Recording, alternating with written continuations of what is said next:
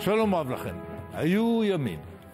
היו ימים שהוא היה בן יחיד שנולד ב-1932 בבוקובינה, אז חלק מממלכת רומניה, לזוג הורים יהודים בבית מתבולל שלא היה בו שום ריח של אמונה דתית, כך הוא סיפר פעם.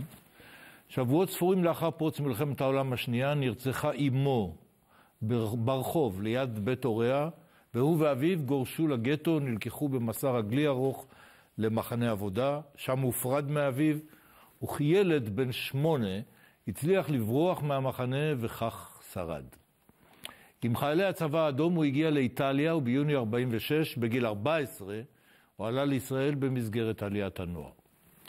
כאן בישראל הוא הפך לאחד הסופרים הפוריים ביותר, שעד היום כתב כבר 45 ספרים ש-35 מהם כבר תורגמו ל-35 שפות. הוא חתן פרס ישראל לספרות יפה, פרס עליית הנוער לספרות יפה, פרס ברנר לספרות, פרס מילו לספרות, פרס ביאליק, פרס אוסישקין, פרסים רבים נוספים, וזכה לתוארי דוקטור לשם כבוד מכמה וכמה אוניברסיטאות, גם בארץ וגם בארצות הברית. היו ימים שהוא כיהן גם כפרופסור לספרות באוניברסיטת בן גוריון. שלום אהרון אפלפלד. שלום. תשמע, אמך נרצחה כשהיית ילד בן שבע. שמונה. אביך נעלם במחנה.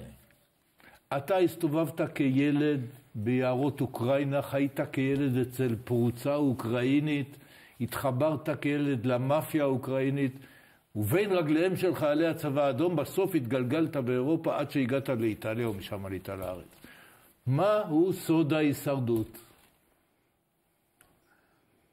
השקט. המה? שקט. השקט? כלומר?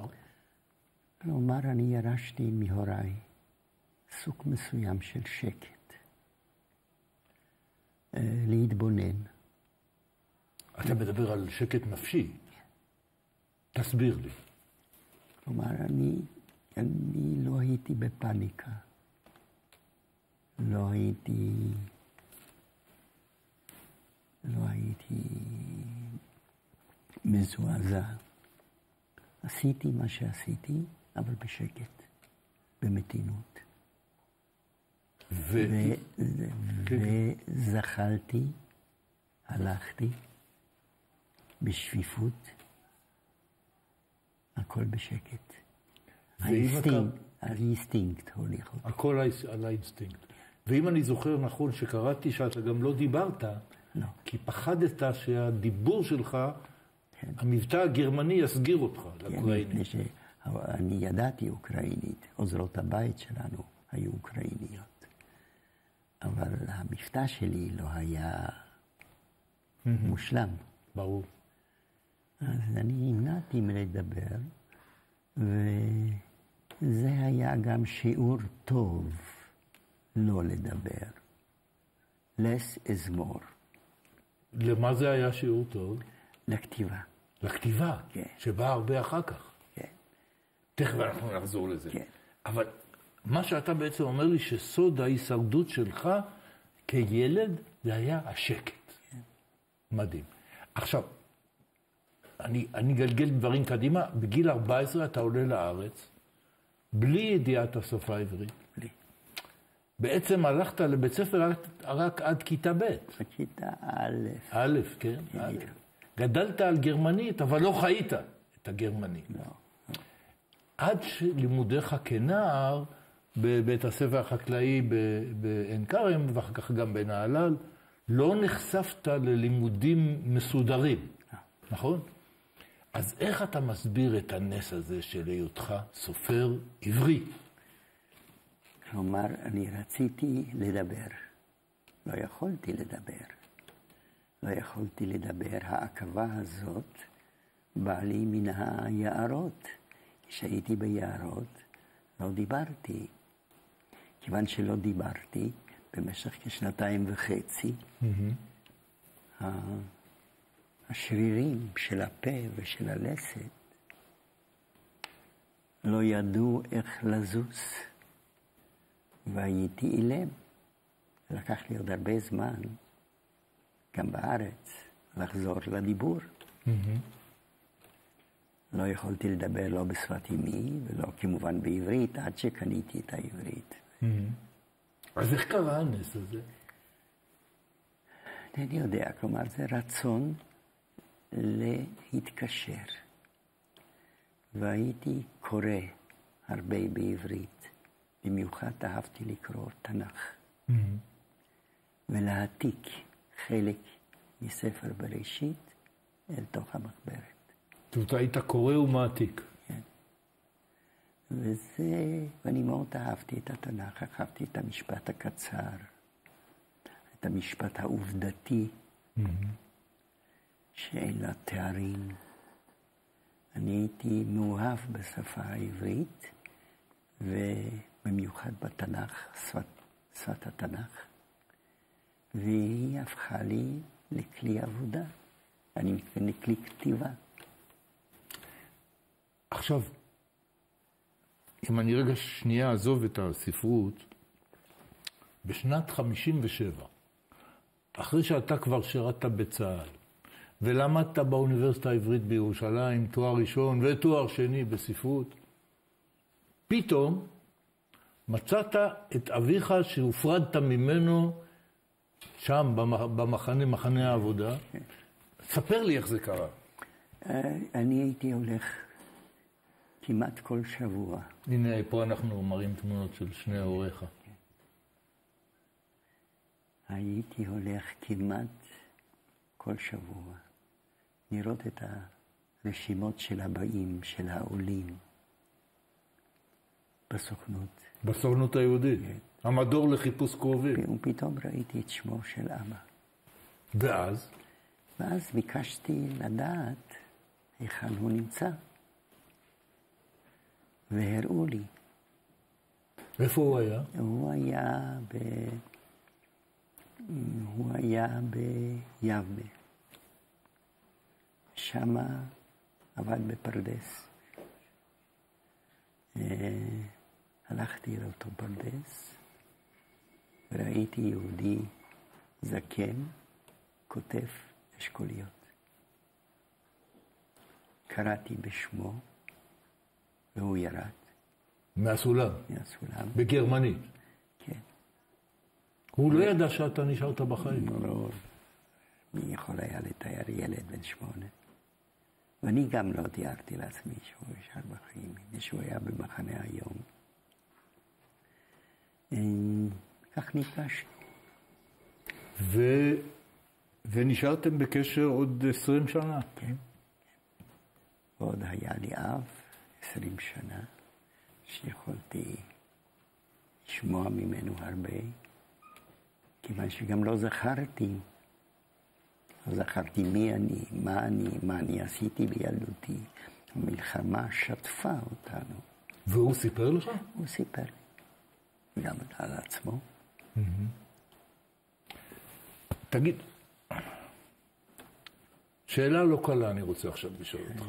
נראה איך נתמודד איתה. כי טענו כלפיך שאתה לא ממש סופר ישראלי, במרכאות או שלא במרכאות. כיוון שרוב העולם של סיפוריך הוא מחוץ לה, להוויה הישראלית, שוב במרכאות כפולות ומכופלות. איך אתה חי עם הטענה הזאת? כלומר, כל פעם שיצא ספר, עכשיו כבר פחות, הרבה פחות, היו אומרים, אפלפלד, למה לא, אתה לא כותב עלינו? והיה בזה איזושהי טרוניה, התרסה. אנשים לא הבינו שסופר לא יכול לכתוב על משהו שאין בו בפנימיותו. אני יכול לכתוב רק על מה שהיה בי, ויש בי, ואני לא יכול לכתוב על משהו שאין בי. ברור. כלומר, אדם, סופר לא יכול לכתוב, זה הרי הוא ז'ורנליסט, הוא היסטוריון, הוא כל מיני דברים, אבל הוא לא יכול לכתוב ספרות, mm-hmm.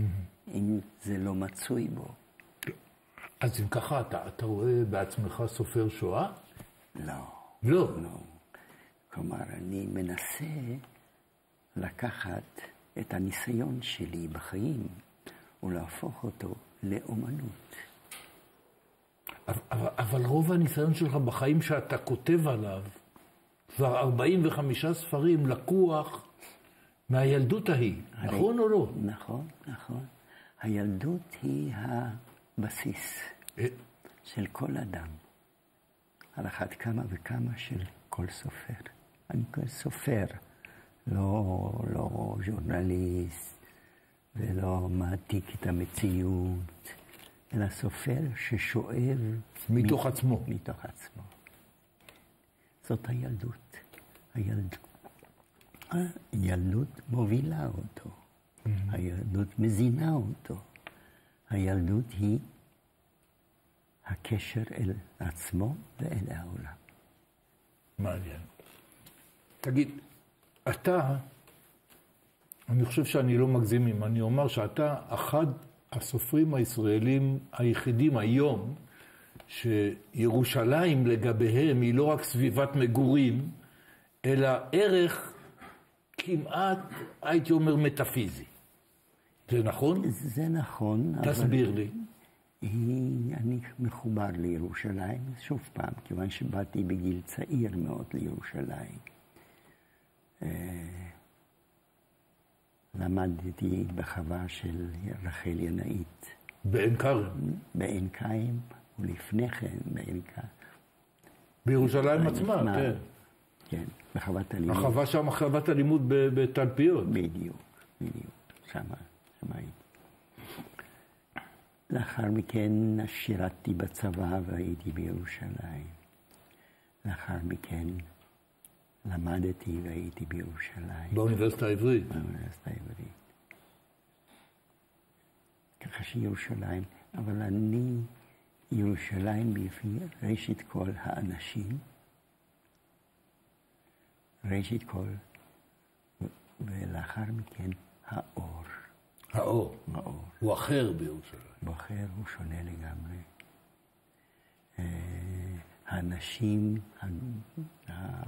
מספר הגוונים של בני אדם, הקולות של בני אדם, יחד עם האור, יוצרים איזה, קראת לזה מטאפיזיקה, כן?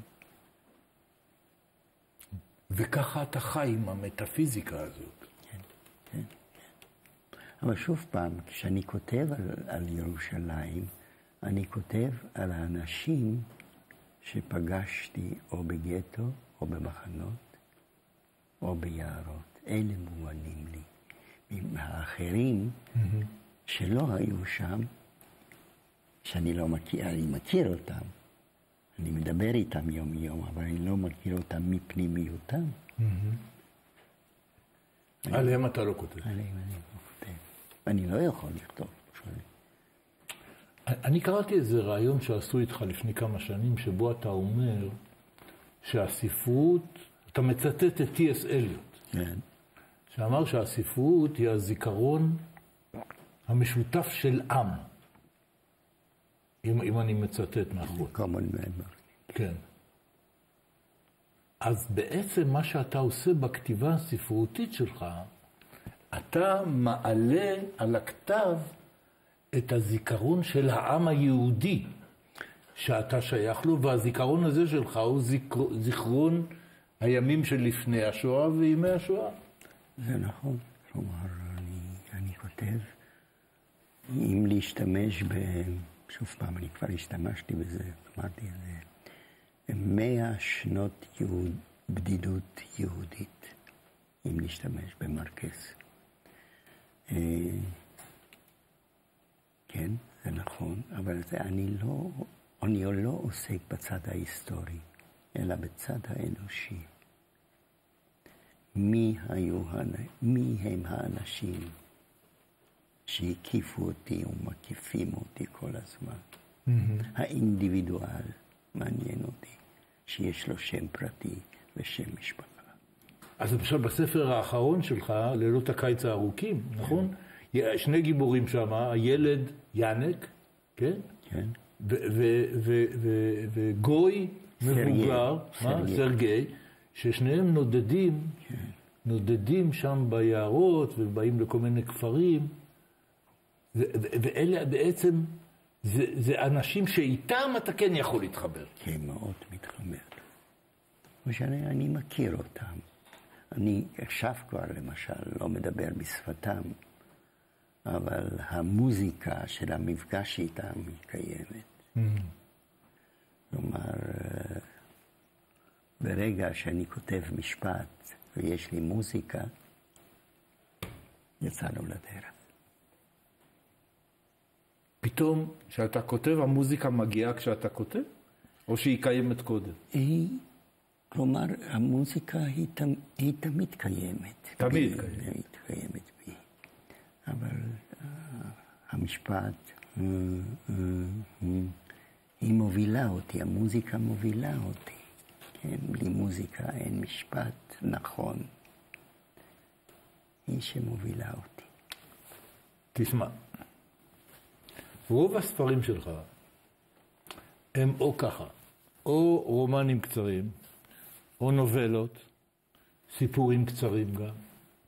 מעולם לא כתבת רומן בהיקף של יותר מ-300 עמודים, לא כתבת יצירה בהיקף של, אני יודע, עגנון כתב תמול שלשום, או יוליסס של ג'יימס ג'ויס. עכשיו, השאלה שלי האם אחרי כל מה שדיברנו, אתה רואה את עצמך כאומן של, איך הייתי קורא לזה נכון? של הצורות הקטנות. זה מתוך בחירה?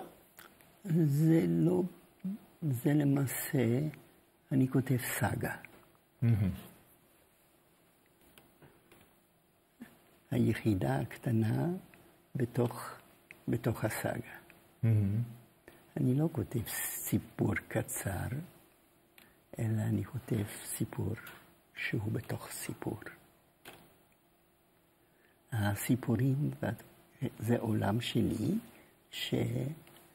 חושב שכל סופר כותב מתוך עולמו הפנימי. קפקא כתב מתוך עולמו הפנימי. קפקא לא רק כתב גם את המשפט והעתירה, הוא כתב, כל מה שהוא כתב, זה עולה מתוכו, mm-hmm. מתוך עולמו הפנימי. מתוך, אז זה מהווה קפקא. כל הספרים שלו זה קפקא. אין דבר כזה שסופר היום הוא כותב על זה, מחר על משהו אחר, ומחרתיים עוד משהו, אין דבר כזה. אם אתה כותב מפנימיותך, זה האריג שהרגת והוא נמשך. זאת אומרת, מה שאתה אומר לי, ש-45 הספרים שאתה כתבת, הם אהרון אפלפלד. נכון. זהו. פירשתי נכון? נכון. נכון. הם, הם יחד אהרון אפלפלד. מהו לדעתך הספר הכי טוב שלך? מכאן אתה למד שאין ספר הכי טוב, מפני שזה שייך לאותו דבר. אתה לא יכול להצביע בינך לבין עצמך, מתוך הפנימיות שלך, כן. על ספר שלדעתך הוא טוב יותר מאחרים, מכל ה-45 האלה? אני יכול לה- להצביע על חולשות בכל ספר וספר. להצביע על חולשות. על חולשות, אני יכול להצביע. אבל החולשה היא שלי. כן? היא לא משהו... זה חולשה ששייכת לאופי שלי. אפילו אנשים אפילו לא ישימו לב לזה וכולי. איזה סוג של חולשה, למשל? איזה חולשות גילית בעצמך? היה שנים ש... שלא שלטתי על הצמצום. לא שלטתי כראוי על הצמצום. תסביר לי. דיברנו על התנ"ך. התנ"ך הוא צמצום. כתוב במשפטים קצרים. מי שכתוב במשפטים קצרים, עובדתיים, שמובילים אותך ממקום אחד, ממקום A למקום B למקום C. זה מה שאני, זה מה שאתה עושה זה גם. מה מה שאני עושה גם, אבל לא תמיד בהצלחה. למה זו, למה זו חולשה? לא ידע, לא. כלומר, אני לא ידעתי את הצמצום הזה.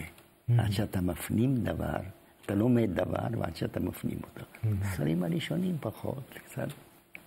הצמצום הזה לא היה. איזה עוד חולשות אתה יודע להצביע על, הצ... על כתיבתך שלך?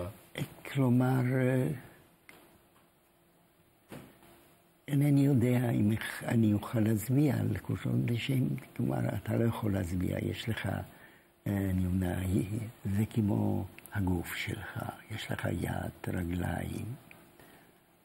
זהו, זה שייך, זה, זה זה אתה? זה אני, כן, זה חלק מן, מן, מן הגוף שלי. אתה לא יכול להצביע ולומר, הידיים שלי הן לא מושלמות. ודאי שהן לא מושלמות. Mm-hmm. הרגליים שלי לא מושלמות, ודאי שהן לא מושלמות. זה שייך אל גופי ואל נשפטי. נדמה לי שאני מתחיל להבין אותך, נדמה לי. אבל תראה, אתה מפרסם כל שנה כן. לפחות ספר אחד, יש שנים שאתה גם מוציא שני ספרים בשנה. כן. הפריון הספרותי שלך הוא, הוא עצום, הוא מדהים, הוא עצום. אתה כותב ביד, נכון? נכון.